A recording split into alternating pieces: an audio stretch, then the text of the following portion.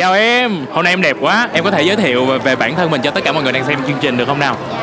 Xin chào tất cả mọi người, mình là Hani và hôm nay mình rất là vui khi được có mặt tại buổi ra mắt MV debut của chị Yeongju. Yeah, xin chào Hani. Hani với Yeongju có biết nhau trước đó không nhỉ? Dạ biết mà còn biết rõ nữa cơ.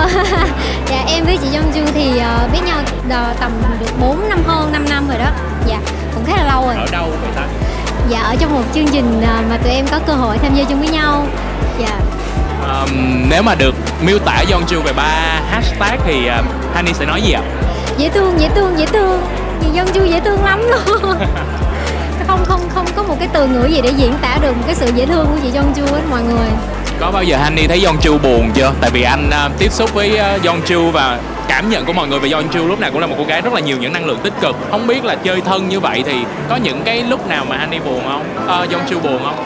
Dạ thật ra thì cũng khá là ít nếu mà chị Yeongju có buồn thì chị cũng sẽ không có thể hiện ra cảm xúc bên ngoài ra quá nhiều tại vì chị Yeongju là một người đem đến cho tất cả mọi người những cái cảm xúc rất là tích cực dạ cho nên là cũng khó có thể bắt gặp những cái khoảnh khắc mà chị ấy buồn kiểu kiểu như thế. Mà nếu Yeongju anh nghĩ là sẽ buồn nếu mà mọi người không cày view cho MV của mình em được à, không? đúng rồi, đúng nên rồi, là đúng mình có một lời nhắn gì gửi đến tất cả mọi người đang theo dõi chương trình không ạ? Nên là mọi người ơi sau bao nhiêu cố gắng thì chị Yeongju cũng đã rất là vất vả và cũng rất là cố gắng cho cái sản phẩm lần này. Và Honey mong rằng uh, mọi người sẽ ủng hộ cho chị thật là nhiều cày view cho MV thật là nhiều nha.